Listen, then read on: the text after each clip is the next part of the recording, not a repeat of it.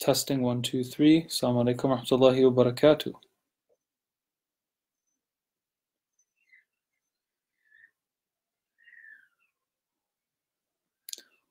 Thank you, About Islam, for having me today. My name is Karim Serageldin.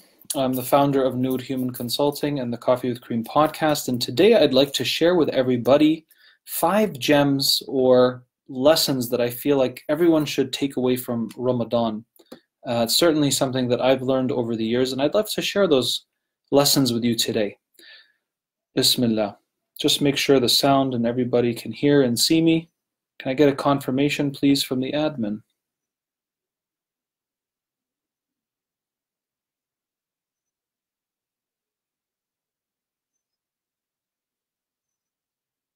Assalamu alaikum. Alaikum assalam. All right. Bismillah ar-Rahman ar-Rahim. So the first big gem or lesson that we should take from Ramadan and what it's supposed to teach us is that you are a spiritual being in essence. You are a spiritual being in essence. In other words, you are not a human being having a spiritual experience, but you're actually a spiritual being having a human experience. And what's my proof for this? Well, number one, Allah subhanahu wa ta'ala tells us in the Quran that He created us. Um, we existed before we came into this world right? Allah says we He took all the descendants of Adam. We were in a spiritual form. Alastu bi rabbikum and so on with the ayah, where we bear, what bore witness to Allah subhanahu wa ta'ala's lordship. And Allah asked us, said, Am I not your Lord? We all said, Yes, you are. And Allah said, Okay, so no one's going to come on the day of judgment and say, We don't know what you're talking about. Right? So Allah is reminding us that you are spiritual beings in essence. And Ramadan is a month where we put our spiritual nourishment on the forefront. And so we realize that what we're really made of isn't just the physical body, but we are this union of the spiritual, of the metaphysical, and the physical, right? So that's the first big gem that we get from the month of Ramadan, uh, because it is um, it is the month that teaches all of us that there is more to us than just our bodies and our needs of the body. Furthermore, when we are engaging with the Quran, inshallah, in Ramadan, we're learning about stories of the Anbiya and the Prophets. Why would God have these stories in the Quran? Well, because there's a lot of important lessons for us. And one thing that people don't always get right is that they think that the prophets were perfect human beings. But they weren't perfect human beings. They they made mistakes Okay? And I'm not that that's not the same as sinning. Committing a sin is when you do something against the sharia of Allah subhanahu wa ta'ala, or it's an act that is punishable according to Allah's law. A mistake is not. A mistake is just you did something suboptimal or not so good. Right? So um, you know, this is something we see with the Anbiya. Musa salam, he kept getting impatient with Khidr, right? that was something suboptimal that he did. And we learn about that story. Yunus salam also got impatient with his mission and decided to punch out early and leave the people before Allah told him to leave. Right? And Allah subhanahu wa ta'ala took him through the story that we know with, with the whale and coming back to his people and so on and so forth. The Prophet Tawalla, you know, he was feeling stressed and anxious about dealing with this chief guy versus this other guy, and Allah corrected him, and so on and so forth. So the prophets weren't perfect human beings, but they were the, the best examples of humankind. And not only that, but what you learn also in Ramadan when you engage with these stories in the Book of Allah is that what made them superior human beings was not that they did not feel tired or get stressed or be impatient or worry or be anxious. SubhanAllah, they felt all these things. They cried, they got sad, right? It was the fact that they taught us and showed us how to harness the spiritual power within us to get through the tough challenges of life, the existential hurdles that we all have to go through. The prophets and their wives and their families are examples for us to show us here's how you get through the tough times of life, right? you're going to sometimes deal with difficulties. You may be sick. Somebody you love might die. You may struggle with finances. You may struggle with this or getting married or what have you, right? But all of the prophets had stuff they struggled with. Nobody had it easy from the Anbiya when you look at their stories, right? It wasn't a cakewalk. So that's the first big gem that we take from Ramadan. We are spiritual beings having a human experience, not human beings having a spiritual experience. And that what makes us strong and grow and thrive as humans is our spiritual power and reality that helps us get through the existential challenges and difficulties of life that's inevitable for all of us to face. Okay? So don't think that if my life is tough, it means Allah doesn't like me and I'm being punished and this and that. Again, the prophets, Allah loved them more than anybody else, and all of their lives were difficult to a degree, right? Some more than others. So that's number one. Number two, one thing we also learn about the science of human nature in Ramadan is that through extreme deprivation or deep deprivation, let's say, of the body, you bring out the opposite force and reality of the spirit. So, by depriving the body of all the things that the body needs and loves and wants and yearns for sleep, sex, food, water, caffeine, right? Whatever it is that we miss. Uh, coffee with Karim podcast. I mean, come on, guys. You know I love coffee, so it's definitely one of the things I miss. Um, when you go through fasting, Allah subhanahu wa ta'ala is also showing us when you have a deep discipline for something, especially when it comes to your body, you are going to bring out now the reserves and the force of the spirit to take over. Now, this is very interesting because you got to think about this. So many of us are exhausted in Ramadan, right? It just catches up to us. And yet, subhanAllah, many of us are still able to do, you know, so much ibadah and this and that and you know go out and feed the poor and read quran and pray and help a neighbor and all this good stuff okay where is all that coming from if you have very little actual calories and energy that you get. Subhanallah. Where is that spirit coming from? And this is we see this in our language all the time right? Man that kid has spirit you know? Or like if you've ever seen like you know a karate movie or a, a scene where there's a fight you know, if somebody gets really beaten down hard and it's like, wow, this guy's over, you just keep telling them, man, just stay down, you know, if you know what's best for you, just stay down. And the person is just broken and they're still getting back up to keep going, right? You know those, you know those scenes. That's like a, you know, an example just shows you like, wow, the body is broken, but the person's still able to get back up.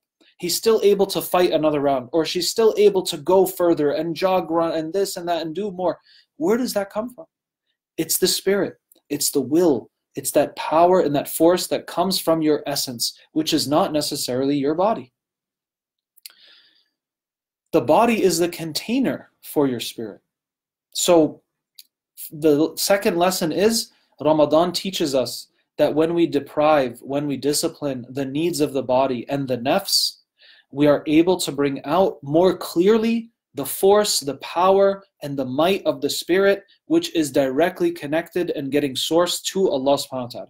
So you're getting not energy from food and calories, you're getting energy from Allah subhanahu wa ta'ala. That's one of the things that inshallah we can reflect on and take away this Ramadan. Number three, the other thing, Ramadan is a constant trigger to snap you back into the remembrance of Allah subhanahu wa ta'ala.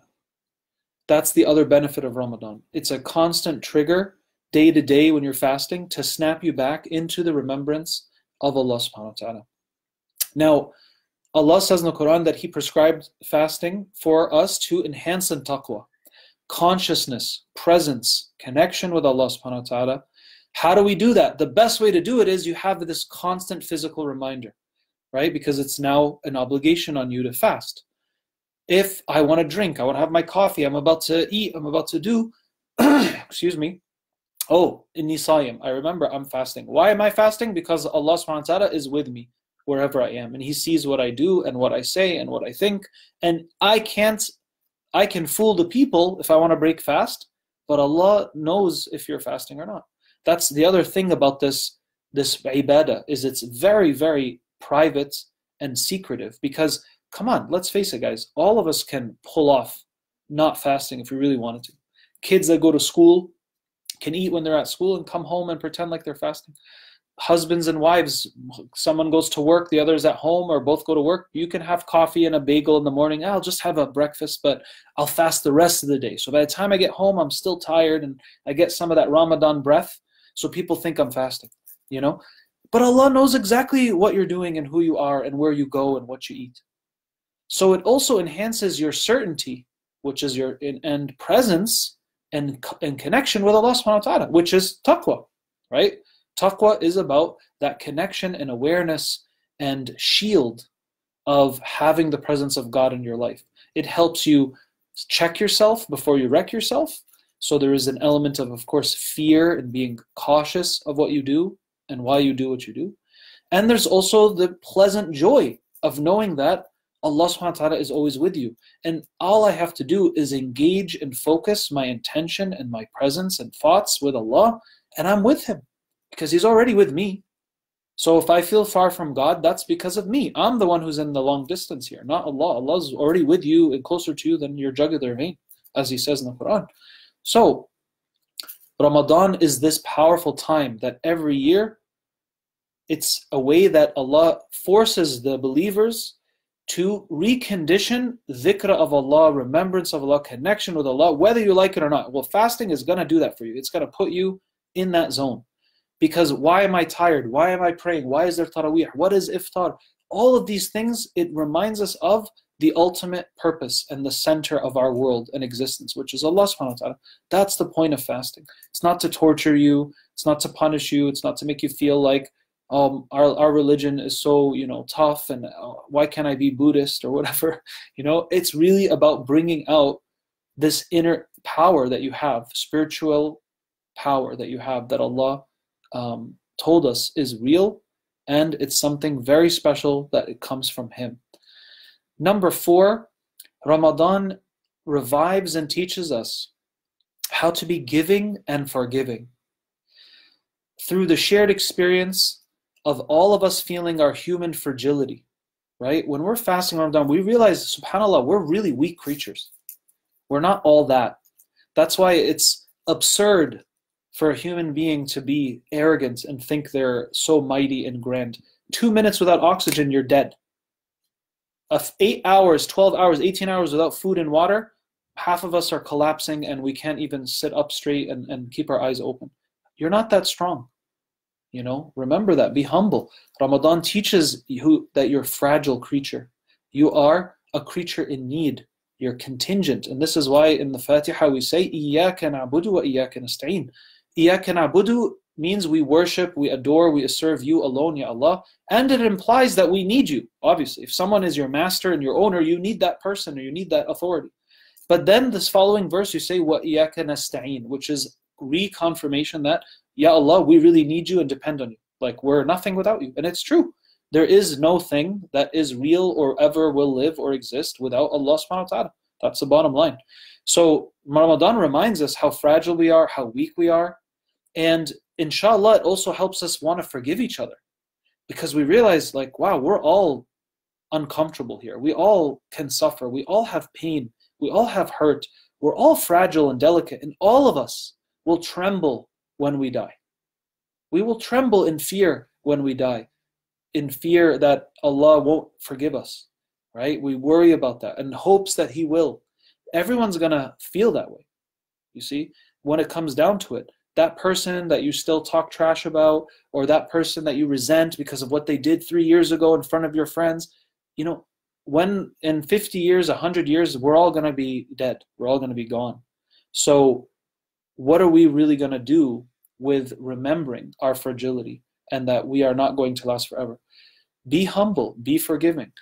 Um, recognize that forgiveness is one of the greatest charities that you can give to others and to yourself. Because resentment is just a poison that you keep drinking and the other person doesn't get affected. So Ramadan reminds us that life is short, we're all weak, we're in this together as human beings, as a creation, and Subhanallah, inshallah, sadaqah is made easier on us. When we are deprived and not giving ourselves everything the nafs wants all day, we also find ourselves it's much easier for us to give others, right? Because I myself, I'm not eating as much as I usually do. I'm not sleeping as much as I usually do. So it's easier for me to spend and give to others because I don't, my nefs isn't bloated, right? Uh, you know, those times when you're just, you're overeating, you're overspending. Those are usually the times when you're the weakest to give sadaqah, right? Unless you're feeling really guilty. You're like, man, I just spent a $1,000 on my purse. I better go give $20 to purify tezgia, my, my wealth here, because I'm just, you know, consuming for luxury here, right? In Ramadan, it opens up our hearts as well to sadaqah, forgiveness, and giving because of this fragility and deprivation that we put ourselves through. But in it comes the elevation of connecting to Allah subhanahu wa ta'ala and enhancing our heart and the core of what we are meant to be and who we are, which is virtuous virtuous, and proper representatives of the divine reality. And number five, the last point or gem that I want to share is Ramadan, at least for me, is like this crazy time zone warp. Every year, I don't know about you guys, but every year I'm like, I can't believe it's Ramadan already. You guys feel the same way? I'm sure like we're about to celebrate Eid inshallah and I like as soon as you're done your Eid cookies like a few weeks gonna go by and you're already gonna someone's already gonna tell you oh dude Ramadan's in like 30 days like just like that. Like it goes by so fast. This is another powerful insight in gem Allah reminds us through this critical time of the year every year right? And you may feel this for other things too but I don't know for some reason I feel like Ramadan just strikes you more seriously than like New Year's or your birthday or whatever. It's like when Ramadan's coming again, you're like, wow, because we all know what that's about. And it's like a thing that you get into for 30 days. It's not just like a one day thing, like, oh, it's my birthday. It's like 30 days you're immersed in this experience. So it's a big deal when it's coming again. And it's a big deal when it's ending. I feel like every year it comes, it comes faster. The years go by faster. Life is ticking, ladies and gentlemen and your life is measured by breaths, okay? Not years. You're not guaranteed to live till you're 100 or 50 or this or that. Nobody knows when you're taking the flight out of here. Well, just because you know when you were born doesn't mean you know when you're leaving. So this is a reminder for us, right? That time is going by very fast, and we have to focus on what really matters in our lives, in our relationships, and how we spend our time. And every year when Ramadan comes, you pass one more checkpoint towards your death. And Allah subhanahu wa ta'ala is giving you and me another opportunity. Hey, recalibrate.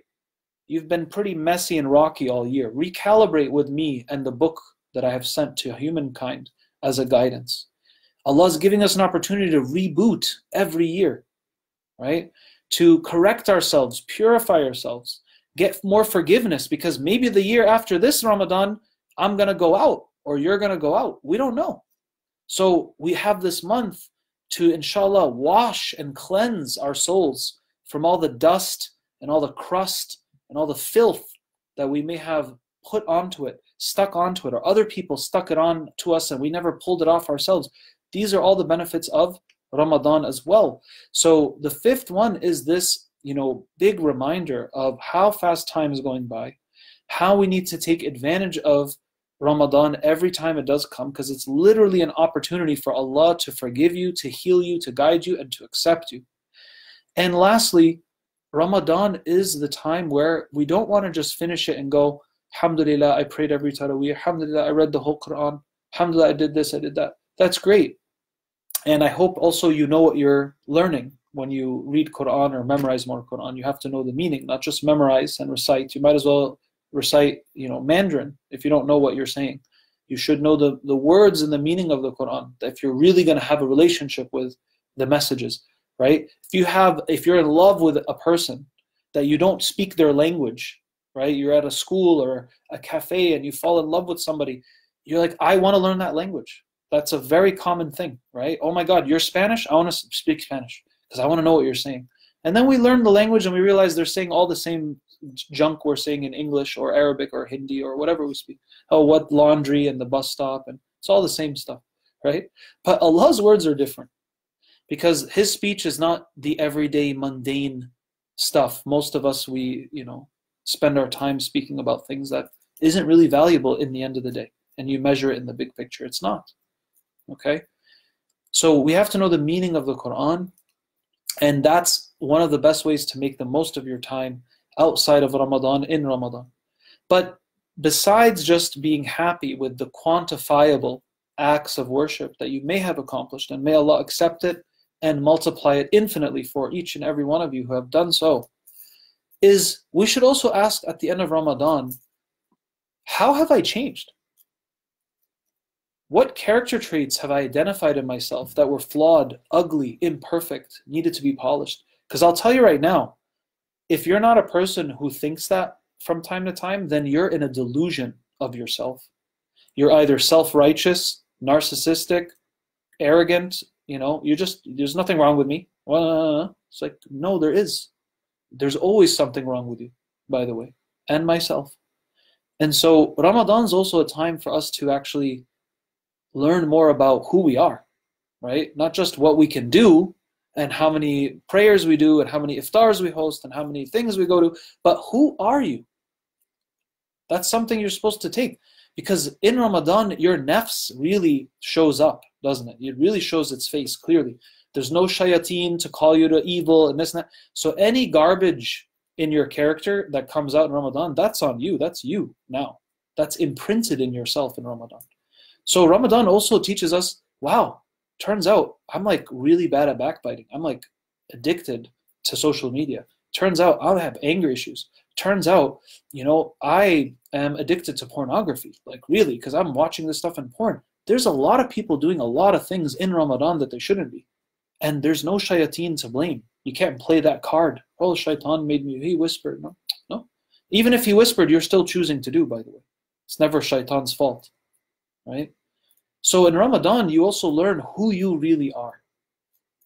And after and during and after Ramadan, you should also think about that and think about, wow, how can I change the stuff I learned about myself or others saw in me and reflected in me? This is very important because wallahi, without akhlaq and adab, I don't know how effective your practice of Islam will ever be for yourself or others.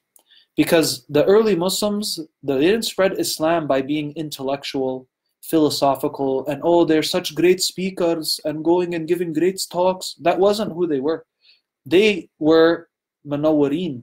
They had nur in their face and their light because of their iman, their intentions, their sincerity, and their akhlaq. That's what made people be like, who are you? What are you upon? What kind of person are you? And I know this from converts, for example, that I know. They become Muslim you know, and they have some of these stories where like, yeah, bro, my aunt and my cousins, they all became Muslim. I'm like, subhanAllah, how'd they become Muslim? You know, they didn't hand out books and give them a course. They said they became Muslim because they saw how I changed. They saw that I didn't cuss. They saw I don't do drugs anymore. They saw that I serve my family. They saw that I, I think more wisely, right? I have good akhlaq. That's, they said, subhanAllah, what is this guy on? What is this Islam about? They saw the nur, right? This is something we want in us when we come out of Ramadan. Not just, oh, thank God it's over. Now I'm going to go binge on sugar and binge on social media and binge on movies again. And it all goes down the drain, right? SubhanAllah. So this is the last thing. And it's connected to my fifth point, which was very long. The time point. Time is ticking and going by fast. Ramadan's a reminder of how fast your life is going by. And I'll tell you guys, those of you who are young, it only gets faster as you get older doesn't slow down. Okay? Three is make the most of your time and uh, take away not just the acts of worship that you've done, but how those acts of worship, how those insights and realizations during Ramadan can actually teach you something about your flaws and your character. Because the highest station in Islam is to be muhsin, muhsina, and that means you are a person who's actively in pursuit of what? Excellence and beautification of your inside, of your consciousness, of your character, of your heart, of your of your conduct. This is what muhsin is. And guess what, ladies and gentlemen? You can't be a muhsin or muhsina if you think you're perfect and there's no more, you know, edges to soothe or things to heal or parts of myself to correct or clean. You're you can't be muhsina or muhsin. So it, and it suggests to us if the path of ihsan to be muhsin is constant, and it is, then that means there's always stuff in you and me that's going to be flawed, suboptimal, is ugly, is dirty, needs to be clear, clean, healed, grown, etc., etc., etc. We have to mature more. That's the case. And anyone who thinks otherwise, they're living in a delusion. And may Allah help them see the light because nobody's perfect except Allah subhanahu wa ta'ala.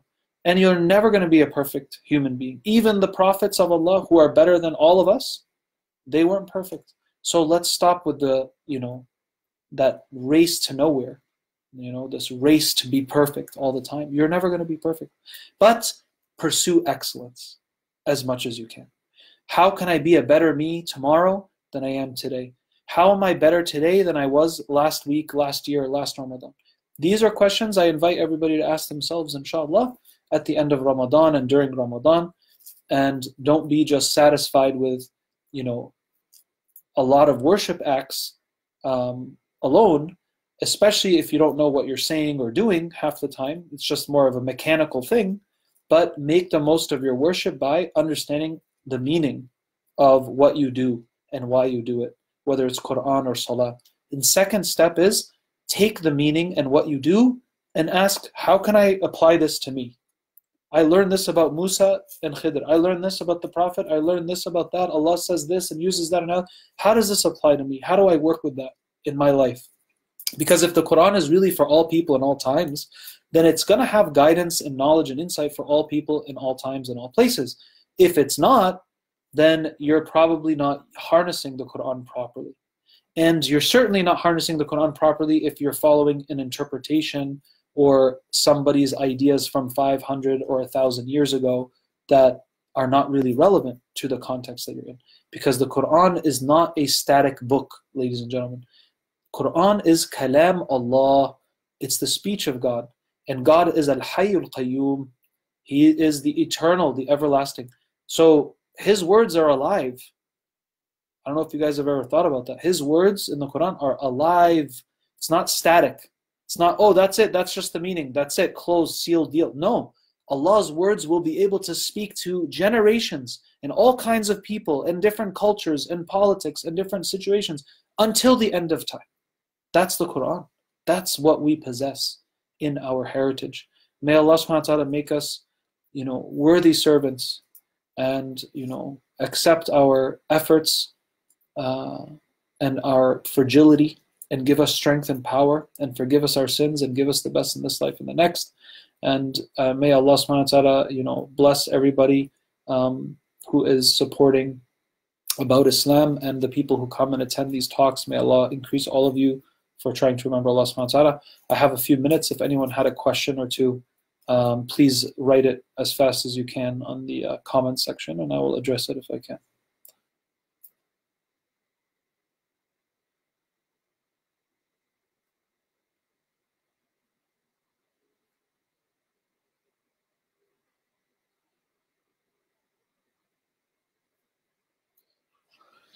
Astaghfirullah. All right.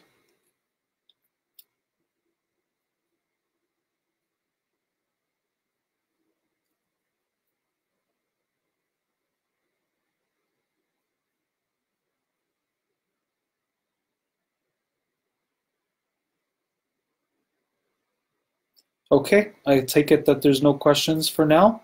Thank you all for listening, and if I made any mistakes, it's from myself. And if you got any benefit or aha moments, it's from Allah subhanahu wa ta'ala who has teaches you directly when you have taqwa of Him. So just to reiterate the five points before we end, the five gems or points that I shared. Number one, your spiritual beings having a human experience, not human beings having a spiritual experience. Your spirit is your essence. And the prophets, why Allah teaches us their stories is to show us not that they're perfect human beings, but that they are spiritual beings going through the human experiences that they're going through. They had tough times, but what made them special and raised in their station is they harnessed their spiritual relationship with Allah subhanahu wa ta'ala to get through the tough things. Okay? Point two is that through deprivation and discipline of the body, Allah teaches us that this is how the soul and the spirit steps forward when we put the needs of the body back and we tell it to be quiet. We say, shh, nothing for you right now. This is about Allah. No extra sleep, no extra food. You're not going to get what you want. The nafs wants what it wants. And, and inshallah, another talk, we'll talk about the nafs. But the nafs wants what it wants. So the, Ramadan is about putting that nafs back in its place and putting it back in that cage so that you, the higher self, can become the the king and queen of your castle again. Not the not the nafs don't let the nafs run wild. It's kind of like if you have a pet dog you know there's a dog that's you know graceful and clean and disciplined and it follows orders. It barks when it when you tell it to. It's quiet when you tell it to. It sits when you tell it to. It eats only what you give it. It doesn't ask for more. It doesn't scratch the furniture. That's a good animal a good pet good good good dog right? When you let the nafs do whatever it wants and keep feeding it and giving that lower self of yours everything it wants, you have a very chaotic, destructive, strong, growling dog that's running all over the place and causing chaos. Try to grab him by the leash, he's just pulling you around. You have no control. But we'll save that for another talk. So, two is the body's deprivation increases and makes us realize who the true king and queen of our inner castle is. It's the soul, it's the heart, it's the relationship with Allah. That's what truly gives you power and, and elevation in your existence. Number three, Ramadan is a constant trigger uh, day to day through the fast to remind you and snap you back into remembrance and taqwa of Allah subhanahu wa ta'ala. Number four, it also teaches us our fragility and our weakness as human beings and that we need each other you know, we have iftar together, we celebrate, we enjoy, we have the joy, we share the resources. This is a reminder that we are a people of one family. We're one, we come from one set of parents. We're here to share the joy together, share the resources, share, share the barakah. It also teaches us to be more forgiving and giving. Because when we have less, when we experience less, we also know what that's like. And it makes it easier for us to give when we're actually depriving ourselves or being more strict with ourselves and not overly re- luxurious and indulgent. And this is why you, wallahi, you taste the sweetness of Ramadan even more when you don't overeat in Ramadan. So if you gained weight by the end of Ramadan, unless you have a genetic or medical issue, I have news for you. You didn't do it right. You're not supposed to gain weight in Ramadan. Okay? That means you overdid it. So next year, inshallah, you keep that in mind. Sadaqah is easier to give in Ramadan, and Allah subhanahu wa ta'ala and the Prophet remind us of the merit of giving sadaqah, especially in Ramadan. And lastly, the time. Time is ticking and going by. Life is short. Refine your qualities. Focus on what matters. May Allah subhanahu wa ta'ala bless all of you and thank you for listening. Assalamu alaikum wa rahmatullahi wa barakatuh.